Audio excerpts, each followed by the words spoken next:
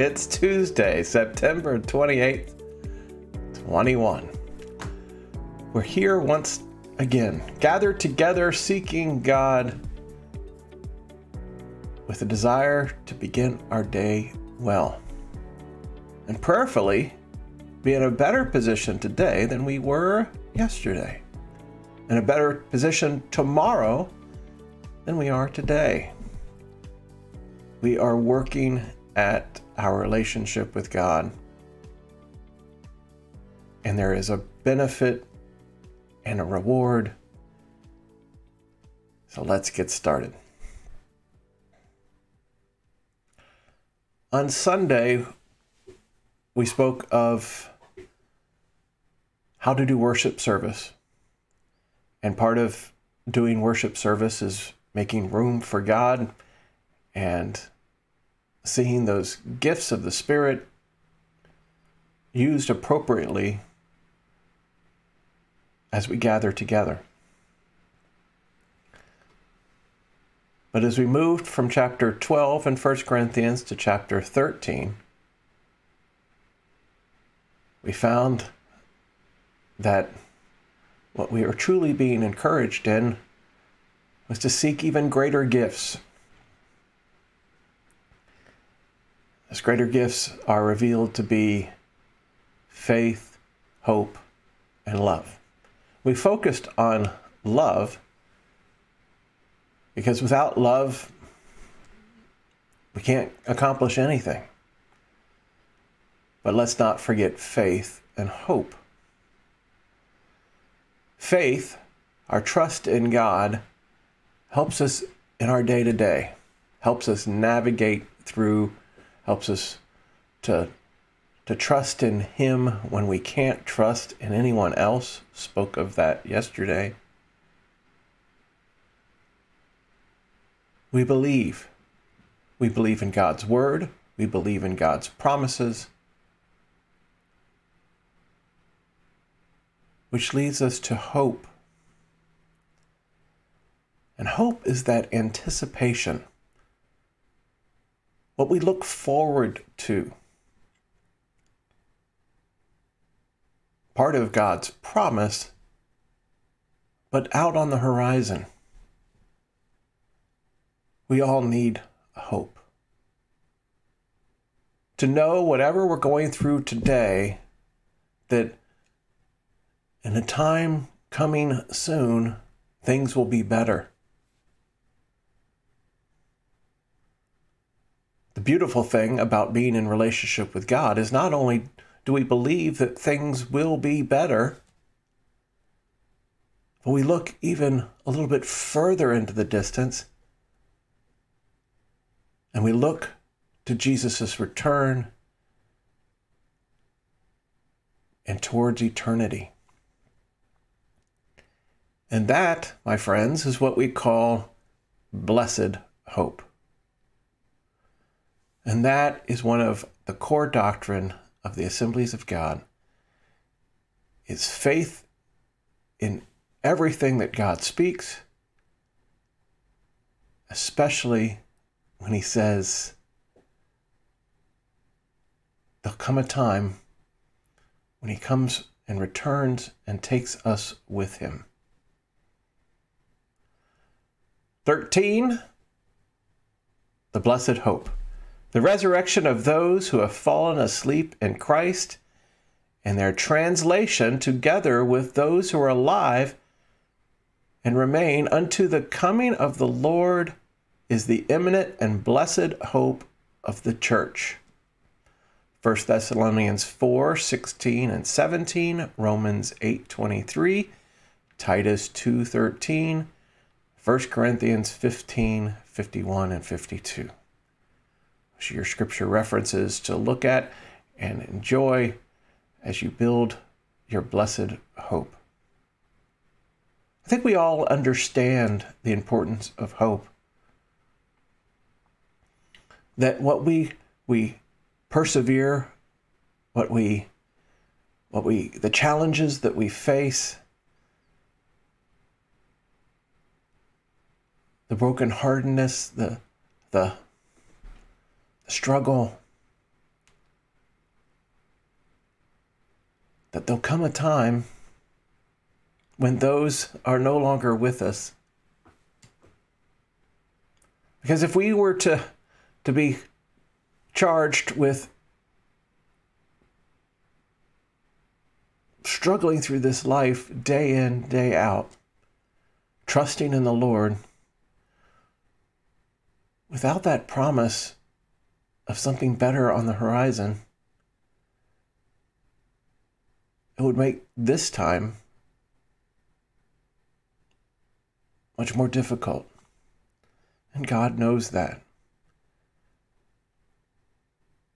And that's why hope and always looking to the horizon is important. For our sake, and for the sake of those that we could reach. Without hope, we certainly our our impulse would be to bar the doors and just ride out the storm. Embrace ourselves. With hope, we move into the world by faith, trusting that God has something better for us and has something better for our neighbors. So, when we turn to Scripture, I want to certainly uh, give a nod to the generations before that helped develop the doctrine of the Assembly of God and look towards uh, a passage of Scripture that is referenced here and that's in 1 Thessalonians 4 16 and 17. If you remember from previous conversations about the church in Thessalonica, through poor teaching and perhaps outside influence and just not being aware, the church of Thessalonica thought that Jesus had already returned and that they had missed the bus. So, Paul's letters to the church of Thessalonica are to encourage them forward and let them know that they have not missed the bus and they won't miss the bus as long as they continue to operate in faith and trust in God and continue to look to the horizon. So that's where we get a pretty nice picture of what it will look like on the day that Jesus returns. For the Lord himself will come down from heaven with a loud command, with the voice of the archangel, with the trumpet call of God, and the dead in Christ will rise first. After that, we who are still alive and are left will be caught up together with them in the clouds to meet the Lord in the air. And so we will be with the Lord forever. Our hope. Looking to the horizon. Easing our burden of today and giving us something to look forward to for tomorrow. I want to throw in a couple of other scriptures that were not referenced as part of the uh, what was listed there under the core doctrine, which you would find on the AG website. They just bring comfort to me because they're part of the gospel message and they're part of what we shared when we were studying the gospel. But it brings me comfort not only to hear God's word through Paul as he shares the gospel with the, the first generation churches, but if we go back and listen to Jesus echo these same words, that there's a foundation of everything that Paul shares, and that is in his relationship with God through Jesus,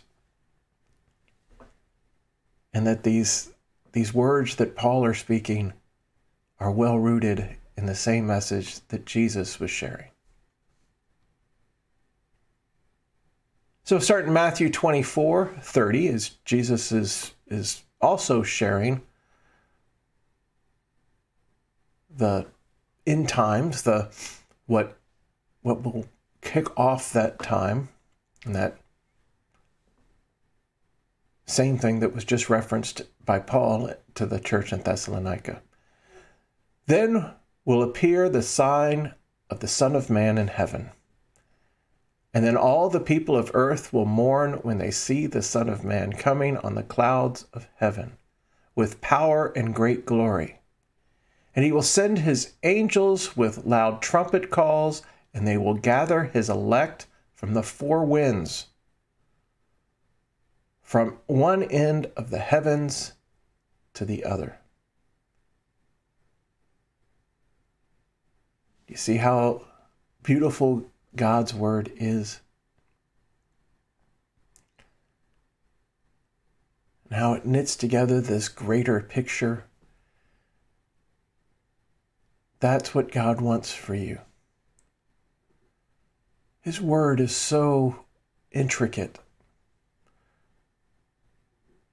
So I encourage you to seek Him not only in the passages that are provided in the study of the Assembly of God doctrine,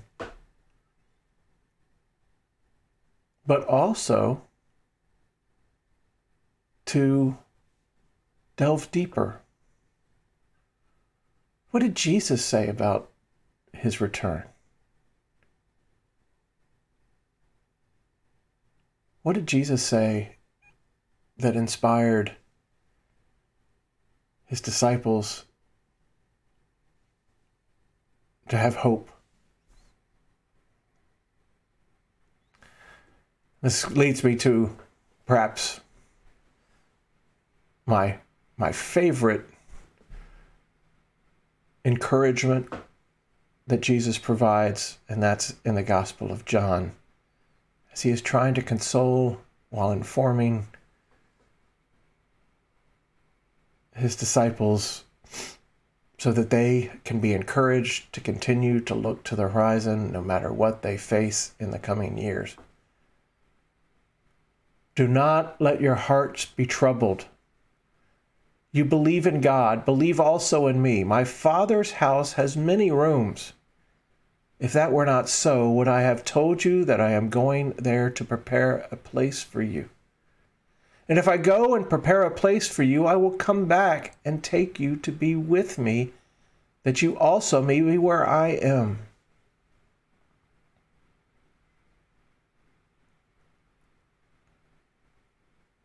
Jesus is consoling a, a, a group of, of disciples that have faithfully followed him for many years. He's consoling them that there's going to be a time and a time very soon that they're going to have to minister without him physically present. To them, that sounds impossible.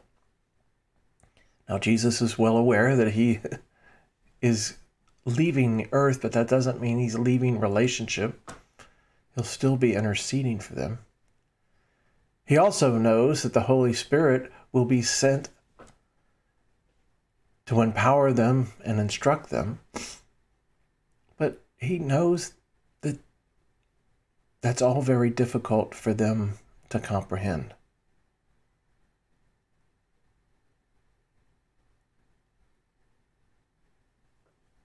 God says, Trust me.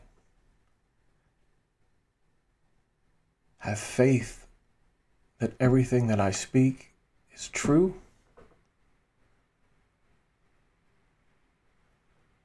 and I give you a little bit of a hint, a peek at the future and how beautiful it is, I leave you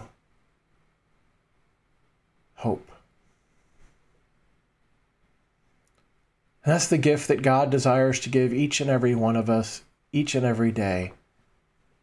It's not just the strength and the courage to get through today, but something to look forward to for tomorrow something greater than we have ever experienced, something well worth the wait. Let's pray.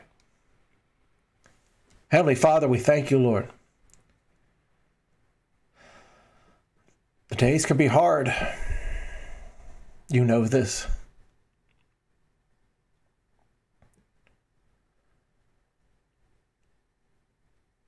Father, there are days when the crushing weight of the world is almost more than we can bear.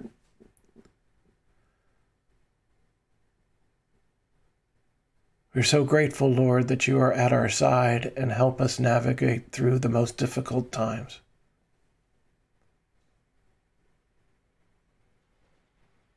Thank you, Lord, for hope.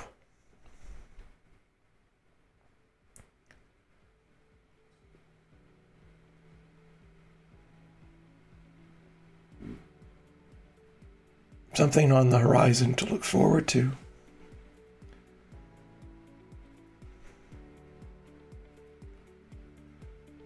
It makes today worthwhile.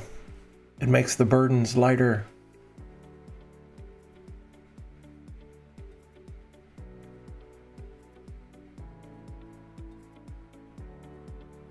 And it keeps us moving forward.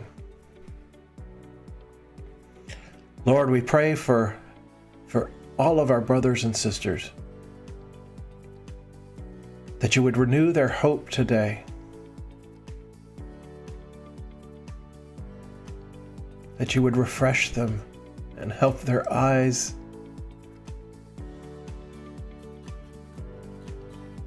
have been downcast, refocus on the horizon and you're coming. You're coming soon. You're encouraging each of us to, forward to finish strong. We can't accomplish this on our own, Lord, but we know through you. When it seems hopeless,